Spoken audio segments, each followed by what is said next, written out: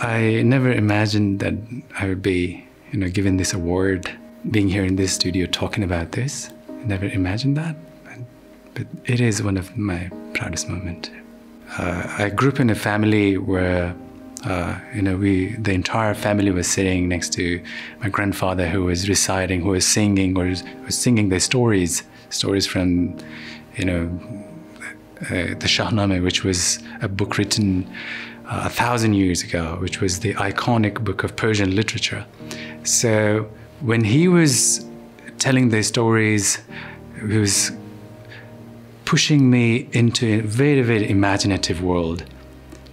And I took that pencil and paper and I started drawing, illustrating those, those stories. And thus the story begins from there. The thirst that I had as a child, I was so curious, so, so curious. Sometimes I think that what if I had TV? What if we had radio? What if we had, you know, other uh, drawing books? We didn't have any of those. I wish my mom was alive to share it with her, um, because um, when I was when I was little, um, my job in the family was to bring bread from the bakery and every time I was going to the bakery, I was uh, picking up charcoals from the bakery and coming back, drawing on the people's wall, and putting the rest of the charcoal in my pocket. And, and when she was washing my clothes, she was taking charcoals out of my clothes.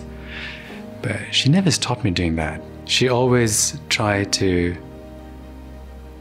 to push me the person that I am, that I wanted to be. My father wanted me to be a doctor I studied very hard to be a doctor, but I always felt like that I'm an artist. I have to pursue, you know, the visual world. I went to Iran. I, I actually escaped from my my family home and I went to Iran when I was only a teenager. I went to this art class, which I passed by accidentally, and I went in there and I uh, said that can I be your student? And then the, the, teacher asked me for a fee. I said I had no fee.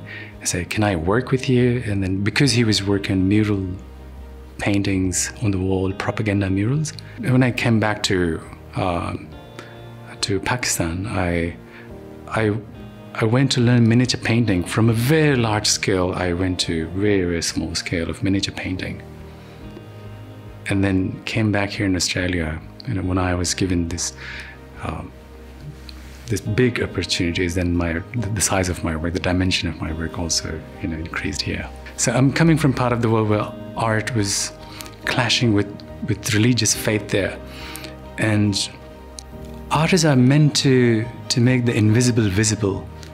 So and I was always thinking that I'm not in the right place, in the right, right geography, the right part of the world, and I always wanted to to meet authors, musicians, you know, scientists, engineers.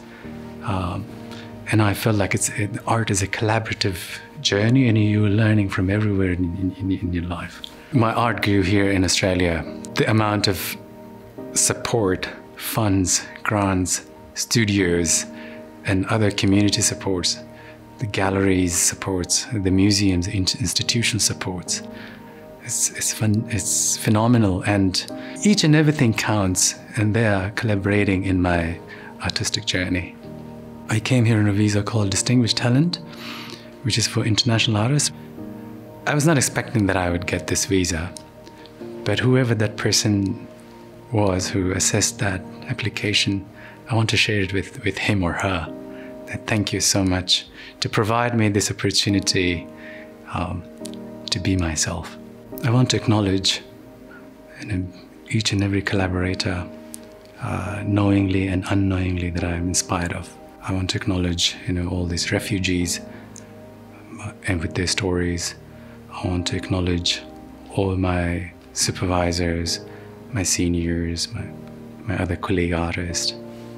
And of course, I want to acknowledge the, the honor of this land allow me to, to be a free man on this land.